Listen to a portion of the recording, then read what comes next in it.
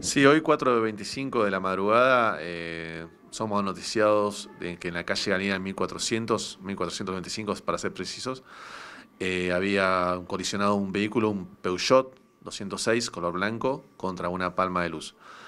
Eh, el personal policial se dirige inmediatamente al lugar, donde obviamente encontramos el rodado de aludido pero con la característica que no tenía ningún tipo de ocupantes en el mismo. Así que pues, hacemos un relevamiento sobre el lugar, sobre los vecinos, para ver si había testigos, inclusive si había este, alguna persona este, cercana o se refería a ese conductor.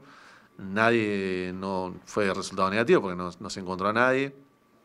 Inclusive se preguntó hasta en, la guardia del hospital a ver si había ingresado una persona de, eh, lesionada por tampoco lo, todavía no fue identificado ninguna persona como propietario o conductor del rodado.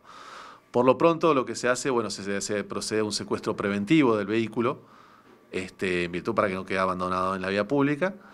Y bueno, no obstante a ello, se hace una, investigación interna con sustracción de automotores para verificar si el, vehículo no fue eh, sustraído en, una, en otra jurisdicción. Por lo pronto, hasta lo que tenemos, sabemos que el vehículo tenía una prohibición de circular desde el año 2011. Es decir, hacía nueve años que ese auto no, no, podía circular. No podía circular, no podía circular. Eh, ¿Ustedes son alertados por los vecinos que sintieron el impacto? El impacto, exactamente, fue así, sintieron el impacto y bueno, al, llegar al lugar nos encontramos con esta, con este, este, bueno, la colisión, pero sin los ocupantes del rodado.